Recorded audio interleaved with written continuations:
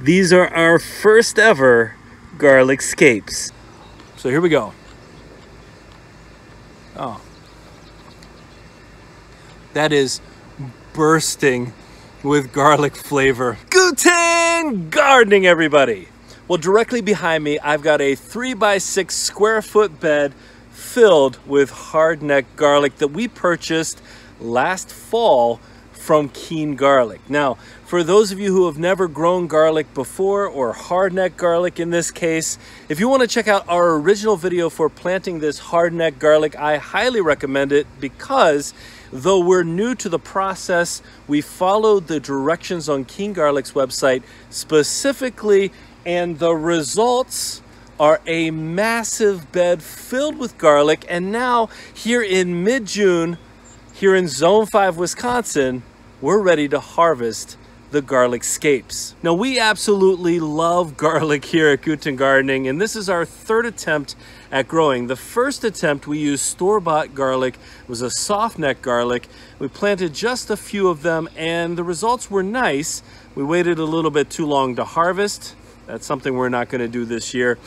But we did get some results. The second time around, we used the same store-bought garlic and the end results were we got exactly nothing from that harvest. So last fall, I actually drove over to Keene Organics and I was fortunate enough to meet the owner himself and I talked to him about growing garlic. He directed me to his site, but he also answered a ton of questions for me. When you find somebody who knows what they're doing, who knows how to grow garlic in this case, you listen to what they have to say. We followed his directions and the bed that we have behind us is a direct result of that. And one of the things that he stressed in his conversation with me was if you want to have good results, you got to start with a good seed garlic. And that's exactly what we did. We had a great organic seed garlic from Keene Garlic. And I'm going to put a link to their website in the description in case you're interested in growing garlic yourself. Well, I've been following them on Instagram as well, and they talked about how mid-June in Zone 5 is the time to start gathering in those scapes for a couple of different reasons. And as I harvest the scapes, and these are gonna be our first garlic scapes ever, as I harvest them, I'm gonna talk you through some of the reasons why you'd want to harvest them and well, just some things about the taste as well, in case you've ever wondered what do garlic scapes taste like and how do we use them. Now, according to the Keene website, you'll know that your scape is ready to be harvested when it first curls, just like this one has done. If you wait too long, then it's going to eventually stand right back up. It's going to straighten the whole way back up, and that'll be about the time that it's actually ready to harvest the entire garlic itself. So when it's come to this point where it is curling, just like this one is, we're gonna take our thumb and our forefinger and we're gonna go down as low as we can. We don't wanna break off this leaf here with our thumb and forefinger, and we're just going to snap it off just like that. Okay, this is the first ever garlic scape that I've harvested, and there's a whole bunch more in here that we're gonna pull off. Now here's something that we learned from our first time growing garlic because it came time, just about time for harvest season with the soft neck garlic that we had out and all these other people were talking about harvesting their scapes. And I said, well, I guess we didn't get any scapes because I didn't realize that hardneck garlic are where you get the scapes. Now, according to Keene's website, you could potentially get a really weak or brittle kind of scape if your soft neck garlic is stressed in some way. But this is a product for hardneck garlic. So if you really want to grow scapes, you need to grow hardneck. Now one thing I'm noticing here is that not all of the scapes are at the same point of maturity. You see this one hasn't actually turned yet. Here you can actually see what I'm talking about.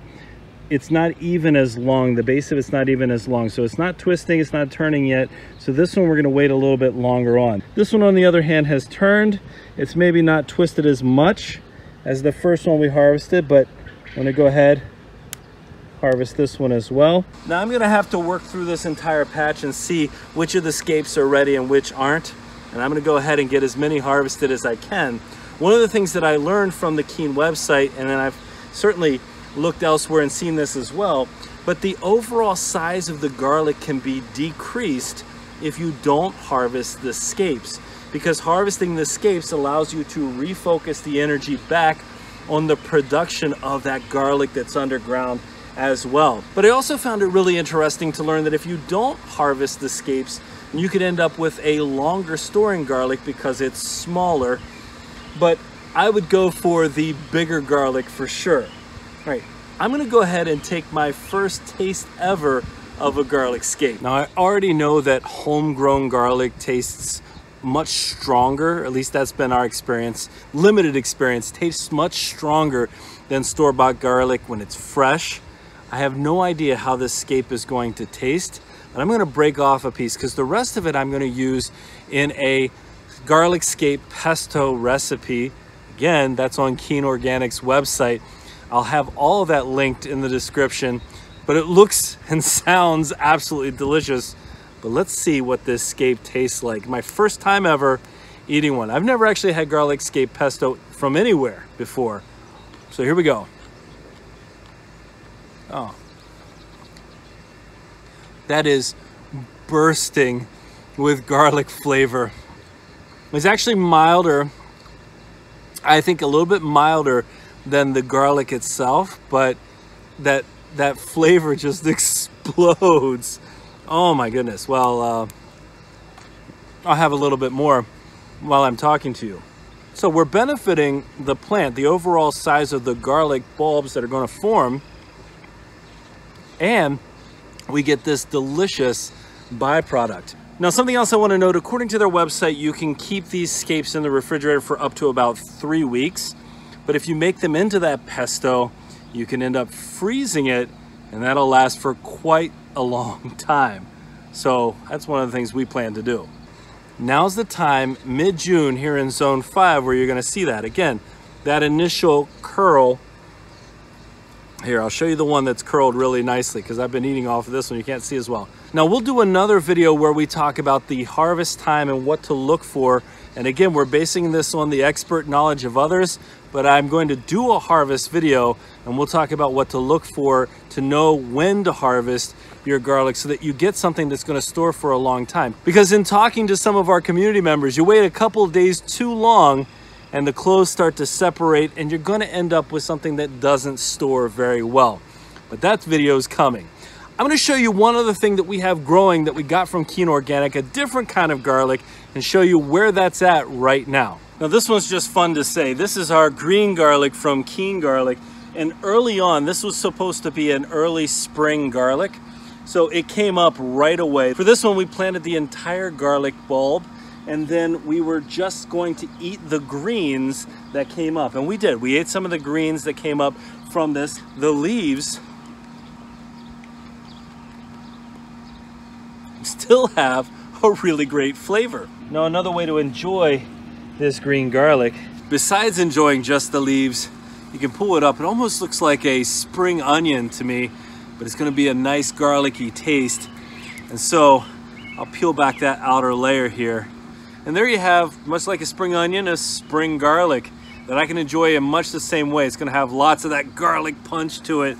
But this is something that's already ready to go. And I might leave some of it in here for a longer period of time to see what else develops off of that. But these are gonna be fantastic in our recipes.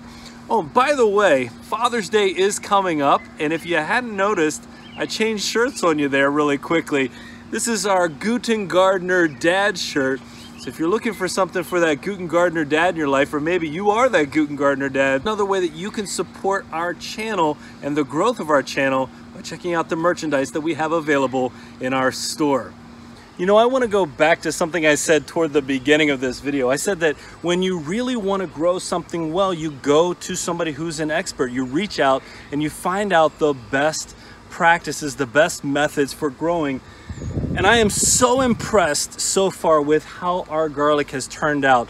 I would say we ended up with about 85, maybe 90% of the garlic that we planted came up compared to 0% last year. That's not bad and it is looking vibrant, healthy. Yes, we've been giving it some deep waterings a couple times a week because we haven't had rain here in Zone 5, Wisconsin for about four weeks now. It's been a long time, but because we've been keeping track of it, taking care of it, we fertilized it once the spring came around. We gave it another bit of fertilizer that they sell at Keene Organics for the purposes of garlic, I think it's going to end up producing really well. If these scapes are any indication, we're gonna be set for some really delicious garlic here in about three or four weeks. So stay tuned for that. Folks, if you enjoyed today's video, go ahead and check out Keene Organic. But if you if you enjoyed today's video, don't forget to give us a like, leave us a comment, remember to share and subscribe, and most importantly, remember, when you're with us, you are good to grow.